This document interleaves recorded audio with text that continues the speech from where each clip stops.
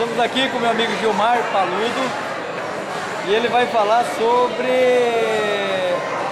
que ele não vai dar liberação para as pessoas usarem o frac, né? É isso? É. Pode falar então. Você não é, você é contra ou a favor? Eu não sou nem contra nem a favor. Eu sou um órgão do governo que, que concede licenças ambientais. A empresa que não cumprir os requisitos legais obter a licença para exploração. E quem está encaminhando o processo de exploração de fracking é o governo federal.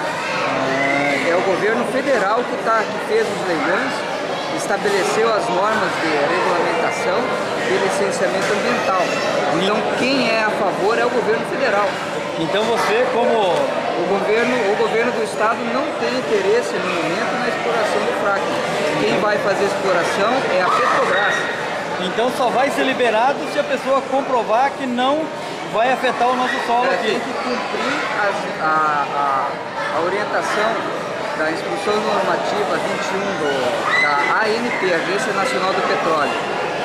Quem não cumprir as, a- as orientações, as normativas da ANP, da legislação ambiental, não vai obter a licença para a exploração do, do pirobituminoso, que é o nome do gás do cisco. Parabéns, então você é praticamente contra, então, porque aquilo afeta o solo, então você é praticamente se não afetar o solo, você é a favor. Se afetar, você é contra. Se afetar, eu sou contra. Então fechou. Manda um abraço pro povo do YouTube aí. Valeu, YouTube.